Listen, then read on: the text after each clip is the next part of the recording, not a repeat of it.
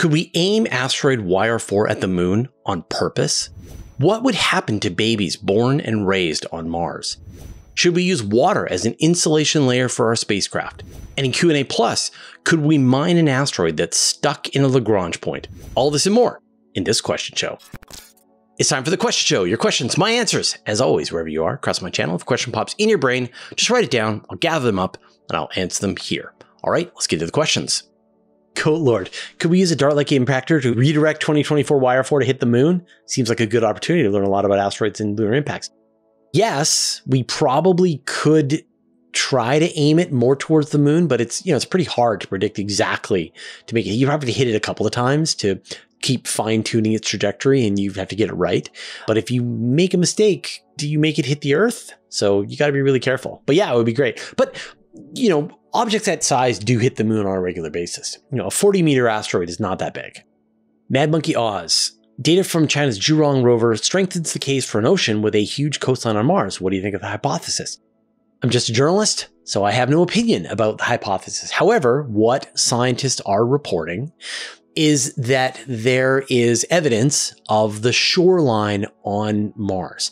And you know, we know that there is water on Mars. You look at the polar ice caps, there is water ice still at the surface of Mars. You can imagine a time when there was water at farther latitudes, maybe covered by ice. You have like a, a thick sheet of ice, and then you get this layer of water down at the bottom that could be easily explained, even under conditions right now. Like there could be water under the ice caps on Mars. You get all this pressure that's pushing down. You got the internal heat coming from Mars that could create this layer of water. And there could be life in there, which would be really interesting. But the Chinese detected the presence of a shoreline. And the way they did that was, you know, this was part of the plan. When they chose the location, the landing location for the Zhurong rover, they knew that they were going to be at this place that was thought to be the boundary between what was once an ancient ocean and then the shoreline of that place.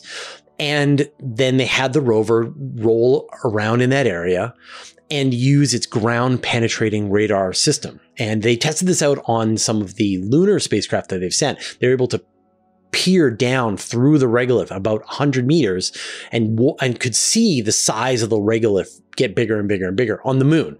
You know, see at the very surface it's powder and then below that it's kind of pebbles and then it's larger rocks and eventually it's boulders all the way down 100 meters as far as the as the radar could go. And so they did the same thing with the uh, with the mission to Mars, Zhurong had a ground penetrating radar system that allowed them to look down under the surface.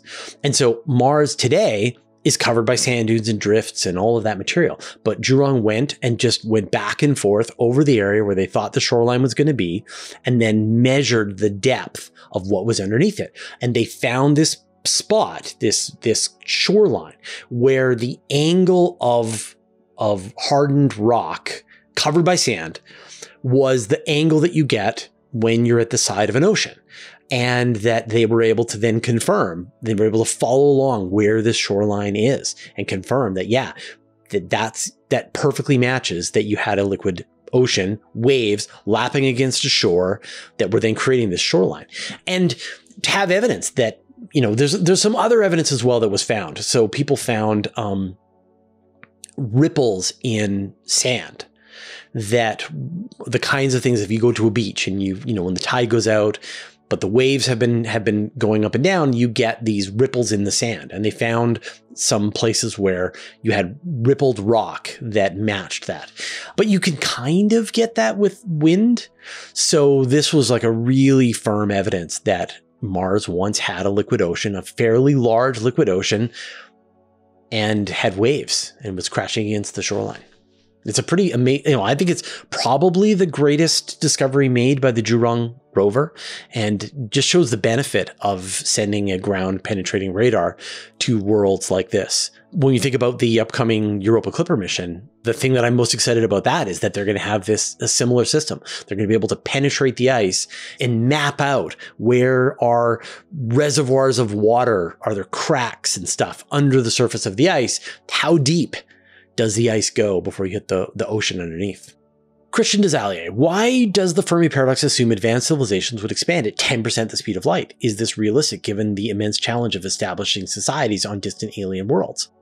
So the expectation is not that alien civilizations would expand at 10% the speed of light. The expectation is that they would expand at 99.99% the speed of light, that they would attempt to gather as much territory as possible within the laws of physics. And so if you set out today at just shy of the speed of light, you could create a volume of empire with a radius of 16 and a half billion light years. If you leave today, so you got to hurry. Um, that's pretty big. Now, of course, that is just going to be a tiny drop in the bucket of the much larger universe that is outside of your smaller little Um, but that's if you leave today and you go at 99% the speed of light. If you go slower than that, then you're not going to be able to to reach that much of the universe. 94% of the universe has fallen over the cosmic horizon. So 6, 6% of the universe is reachable if you set off at the speed of light. And so that is going to be the limit that these advanced civilizations are going to be driving for is to get to this maximum rate. And so when we look out into the universe, the expectation is that we should see these civilizations growing at the speed of light. But the thing is, is that if you can see, or I guess you can't see the civilization growing at the speed of light because when you first notice the civilization, that wavefront of expansion is passing you by and you sudden, you know, it's like you learn the Borg are out there and now you're part of the Borg. So, um, obviously if if there is some but and so there's no physical limit that says you can't go 99.999% the speed of light. It's within the laws of physics. And so that is probably going to be the limit. Now what do they do? I mean they're going to send self-replicating robot probes. You just need to send one. It makes its way to a star system. It settles down in the galaxy finds an asteroid belt starts producing more copies of itself. Those send themselves off to other galaxies within the reachable distance and then the others start filling in the missing pieces where they go from star to star, gobbling up resources, creating more probes, going to more star systems, building more probes, setting up their Dyson spheres, surrounding each of the stars in the Dyson spheres, setting up stellar engines that move the stars around into a more attractive configuration. That's the kinds of things that a civilization without limits would attempt. It's time to shout out all the $5 patrons and above. Paul Rodman, T.H. Barker, David, Alex I, Conrad Cumley, Robert Thomas, Tony Baez, Robert, Tyler Dennis, and Roger Booth. Join the club at patreon.com slash universe today. Web Fiji, is there anything such as absolute stillness in the universe, like staying in one place and watching planet stars and entire galaxies zip past? Well, you could just do that. Um, you know, you could go wherever you want and move at whatever velocity you want, and then you watch things go past you at the velocity that you want. Um, there is no single place that is not moving in the universe. That, that that doesn't exist. It's not a like everything is moving relative to other things. You know, you are moving at 1600 kilometers per hour if you're sitting at the equator, um, relative to the outside of the earth because the earth is turning and you are moving, you know, thousand miles an hour in a circle. Congratulations. You know, you're the fastest human on earth. But that's because relative to the surface of the earth, you're not moving. So really, you always have to just say compared to what? TELE KOMIK. Do you think human gestation and fetus development will be negatively affected by the low gravity of Mars? We just have no idea. Nobody knows. Nobody has done the experiment. Nobody has put a mammal into one third Earth gravity and then gestated it to completion and then had the animal give birth and then saw if there were any development issues with the animal. And that that experiment seems important if people are planning to go to mars and live and raise their families there. Every person who is born on mars could be not viable that could that's a possibility. We don't know the answer to this question, and so uh, the only way to answer that question is to is to have experiments that you start with some kind of rotating space station that has artificial gravity, and you can dial that gravity down to different levels, and then you have various animals that you have them procreate, gestate, uh, and then you see if there's any issues, and you probably want to go multiple generations, and so if you you know if they if you have mice and the mice give birth to babies and then the babies you bring them back down to earth and then you see if there's any issues generations down the road and then you scale up to monkeys and then eventually you feel like you've done enough experiments that you think you're ready to try this with human beings or to let human beings take this risk knowing the the possible consequences but also knowing that the monkeys turned out okay. And we don't know any of this. We just don't know it. And so anyone who tells you that they would like to build a city on Mars and that send humans there permanently to begin this great civilization um, without sterilizing them all is is asking you to take a total risk. You know, like how many um, babies with birth defects are you willing to have? All of them? So, uh, you know, whenever you consider these plans, you, there are all these basics that need to be worked out, and they haven't been worked out yet. Len Kelter, if we ever start exploring interstellar distances with very long duration missions, is there a solution to the dilemma that future technology would inevitably leapfrog the first mission? Uh, that's called the wait calculation, and the answer is no. You wait. You wait until your technology won't leapfrog the, miss- the mission that you would already send. Once you know how fast your civilization is advancing, you know how much energy you're producing, how much energy it takes to go to another solar system, you can calculate the day when you don't need to wait anymore and you can just send the spacecraft that will not be overtaken. Kasie Ream, would it be possible to have an X-ray or gamma ray interferometer, or could we not align to that level?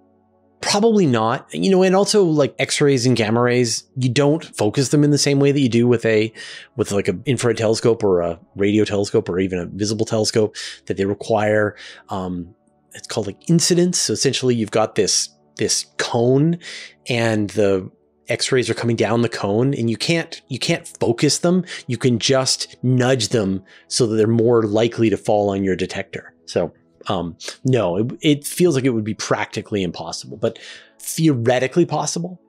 Jewel Carcerum, how do you feel about using liquid water insulation for the inside of a spacecraft? Imagine an exterior hull, layer of water, internal centrifuge. Yeah, liquid water or ice water, frozen water is a great insulator against space radiation. You just need one meter. If you have one meter of water, then you are protected from space radiation. Cosmic rays, radiation coming from the sun, you're set. And it doesn't have to be water, it can be regolith, it can be whatever. You just need protons in between you and space. And the advantage of having water is you can also drink it and you can use it for fuel if you need to. So, so water would be great. You can imagine some future spacecraft that is surrounded, you know, a sphere of water. Wouldn't it be a very weird spacecraft? And then it, there's a habitat inside. Did you know that you can watch the same video, but with no ads and get a bonus question over on Patreon completely for free? We call that Q&A Plus. And this week's bonus question, could we mine asteroids stuck in a Lagrange point? I'll put a link in the show notes. You can just go watch that version. All right, those are all the questions that we had this episode. Thank you, everybody who asked your questions in the YouTube comments, everybody who joined us for the live show. We're still on our live stream hiatus back in three weeks, but uh, I'm going to talk about the media that I am consuming during this summer break. Uh, but first, I'd like to thank our patrons. Thanks to Abe Kingston, Andrew Gross, Bear Lake Roofing, Brian Bodie, Caradron, Chuck Hawkins, Commander Baylock, Cy Nelson, David Gilton, and David Matz, Evan Pro, Greg Feely, Hudson Ward, James Clark, Jeremy Madden, Jim Burke, Jordan Young, Marcel Smith, Michael Purcell, Modso, Nick Borquez, Nick Solari, Paul Robach, Renkaidu, Robeck, Sean Sargent, Stephen Fallon Munley, Vlad Chiplin, and Wolfgang Klotz, who support us at the Master of the Universe level, and all our patrons. All your support means the universe to us. So, just an update of all of the media that I have been consuming this summer. Uh, so, first, video games. Uh, I had picked up Mechabellum uh, a couple of months back and played it a little bit and thought it was interesting. And then I've been watching a couple of live streams. Uh, Crip was playing of Mechabellum, and I thought, oh, okay, all right, I'll give it another shot. And I've been really into it. It's a great game. It's sort of an auto battler where you play against an opponent, and every round you get more points, and you send these mechs and tanks and aircraft against each other. And there's a lot of fine tuned, you know, which units counter which units, and you can upgrade things in different ways. And so you can sort of respond to the battlefield as it changes round after round, but things are kind of locked in place. And so you're, you're, it's kind of like a tower defense game against another opponent where you're sort of tower defensing each other's. Anyway, it's it's a really fun game, and I can see that it's going to take. It's one of those easy to start, lifetime to master kind of games. The other game I've been playing a lot of is Darkest Dungeon 2. Now, I really like Darkest Dungeon. I finished the game. Um, Darkest Dungeon 2 is different and kind of confusing to me. I'm still within the first, say, 20 hours of playing the game, but I'm starting to get the gist of it. And the battles are very much the same way as they were in Darkest Dungeon 1, where you sort of have this town and you are attempting to defeat some great evil with these adventurers, but the adventurers get go crazy and uh, they get all kinds of, of illnesses that you have to sort of manage and take care of. And it's sort of the same thing. What makes Darkest, the whole Darkest Dungeon series great is the just the ambiance, the mood where you've got this this incredible narrator uh, and just the quality of the of the art all fits together and it's just it's a wonderful experience to play those games. So if you've ever played darkest dungeon 1 definitely give it a try and if you you know you cross that hump into darkest dungeon 2 uh, let me know because i'm still kind of struggling with it. Um, on the book front i'm now finishing up the sixth book in the dungeon crawler carl series uh, and it's good. I think i think it's my favorite so far. They do keep getting better and better as less of the time is spent considering the dungeon and more of the time is spent considering the universe that this is playing in. And I think that was the right decision to take, which is it's not about it being this repetitive dungeon. It's about this larger universe that is deeply flawed and messed up. And Carl and the rest of the dungeon crawlers are trying to affect outside of their situation. On the TV front, I'm watching Foundation, which is is good. Uh, it's again, it has nothing to do with the books, apart from a couple of names being the same. And so you have to sort of take it on its own. And a lot of ideas are terrific, like the idea of the of the Cleons, this empire where they just keep releasing clones of themselves so they can maintain power forever. Uh, but other ideas I think are are a little bit diminished. So, but I think it's its own thing and it's sci-fi, and you know, watch it. We also just finished watching the second season of The Sandman, which kind of wraps up the what was in the graphic novels, and I think that's the end of the show, and I think that's perfectly fine, especially considering sort of the controversy with uh, with Neil Gaiman, and so yeah, like just it's done, let it go. And then the last show that I'm watching, which we've only seen a couple of episodes, is Chief of War, and uh, this is based on sort of fighting between the various islands of Hawaii. And has you know Jason Momoa is the is the lead in this. And the part that was surprising to me was they stuck to everybody is speaking Hawaiian for the entire show for two episodes everybody speaking Hawaiian. And I was sure there was going to be this moment where they were going to switch over and go no no now you know just to show you they're actually speaking Hawaiian but now everyone's going to speak English. Nope. It's been Hawaiian the entire time. And it's great to see uh, you know, it's just something you never see, and so I'm really looking forward to it. So far, I've been, I've really enjoyed it, and I think it's a it's a really good show. So, Sandman's on Netflix, Foundation is on Apple TV, and Chief of War is on Apple TV. I gotta say, Apple TV is becoming a thing that is worth paying for month after month after month. They we keep going, oh, just one more show, and then we're gonna get rid of it. And nope, we just keep watching. All right, we'll see you next time.